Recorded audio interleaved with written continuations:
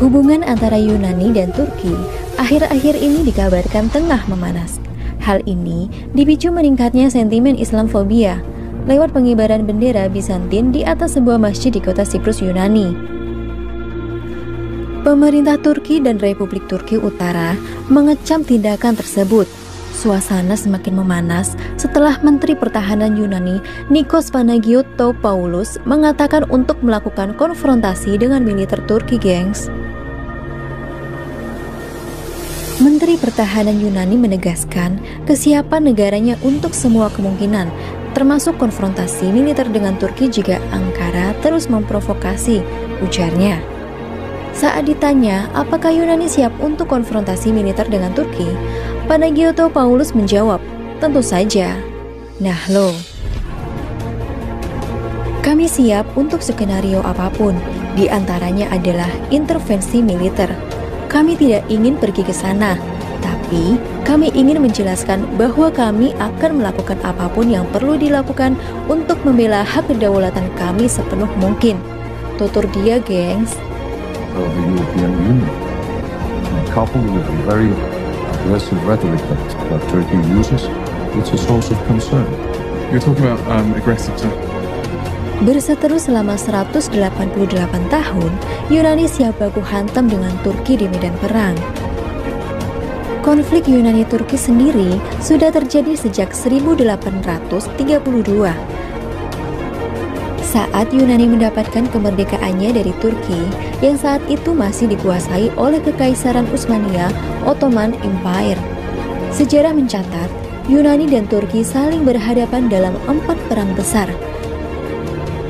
Perang Yunani-Turki I 1897 Perang Balkan I 1912 sampai 1913 Perang Dunia I 1914 sampai 1918 dan Perang Yunani Turki II terjadi pada 1919 sampai 1922.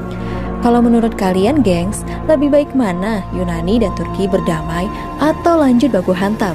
Tulis di komen ya. Jika ditelisik dari situs globalfirepower.com, 2020 pertahanan Turki berada jauh di atas militer Yunani, yakni peringkat 11 berbanding 33. Nah, untuk selengkapnya, inilah perbandingan militer Turki dan Yunani yang kini tengah memanas ramai diperbincangkan.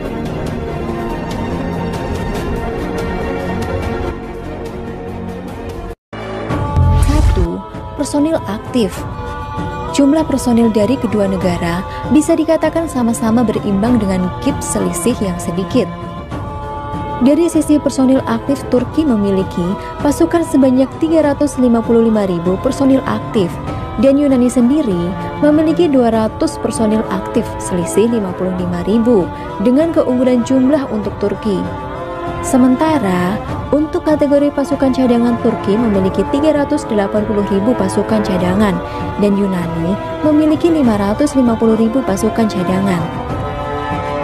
Dari sisi ini, Yunani unggul atas Turki dengan selisih personil cadangan sebesar 170.000 pasukan. Di atas kertas kedua negara sama-sama berimbang dari sisi ketersediaan tentara. Yang kedua adalah kekuatan angkatan darat. Beralih ke alutsista darat Turki, menang telak dari segi jumlah jika dibandingkan dengan Yunani. Rinciannya, Turki memiliki 2.622 tank tempur, 9.777 kendaraan lapis baja, 1.278 artileri Swagerak, 1.260 artileri Medan, serta 438 buah peluncur roket unggul beberapa kategori di atas Yunani. Sementara itu, kekuatan darat militer Yunani yang ditopang oleh 1.350 tank tempur, 3.691 kendaraan lapis baja, 547 artileri Swagerak, 463 artileri Medan, serta 152 peluncur roket. Dari sisi kuantitas militer Yunani, kalah telak dengan apa yang dimiliki oleh Angkatan Darat Turki. Nah lo,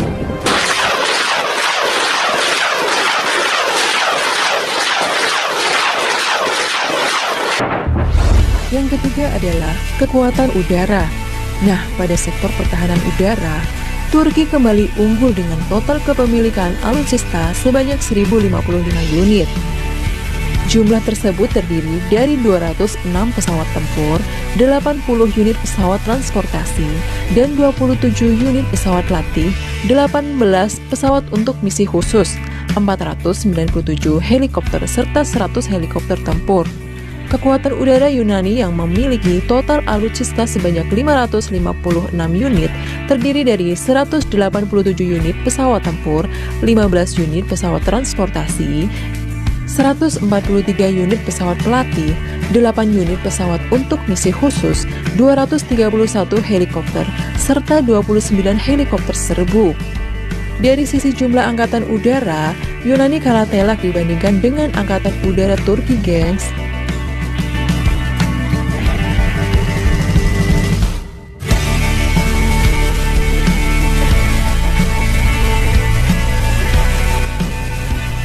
Nah, yang keempat, Laut Turki lagi-lagi kembali unggul atas Yunani dari sektor pertahanan laut.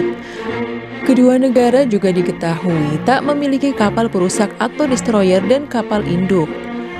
Meski demikian, Turki unggul dengan jumlah alutsista laut sebanyak 149 unit. Dengan rincian 12 unit kapal selam, 16 unit kapal frigates, 10 unit kapal korvet, 30 unit kapal patroli, serta 11 unit kapal penyapu ranjau. Kekuatan Yunani di sektor laut juga terbilang masih jauh di bawah Turki. Dengan jumlah total 116 unit, Angkatan Laut Yunani diperkuat oleh 11 unit kapal selam, 13 unit kapal frigates, 35 unit kapal patroli, serta 4 unit penyapu ranjau. Kekuatan laut berkurang karena Yunani ternyata tidak memiliki kapal jenis korvet seperti punya Turki. Menurut pemerintah Turki, pihaknya ingin agar langkah tegas segera diambil untuk mengakhiri hal tersebut. Di lain pihak, Menteri Pertahanan Yunani justru bersiap terhadap kemungkinan apa pun, termasuk konfrontasi militer seperti yang dikutip dari kompas.com. Mudah-mudahan saja bisa diselesaikan dengan cara yang damai ya, gengs. Nah, jadi gimana nih menurut kalian, gengs? Ditunggu ya komentar-komentarnya.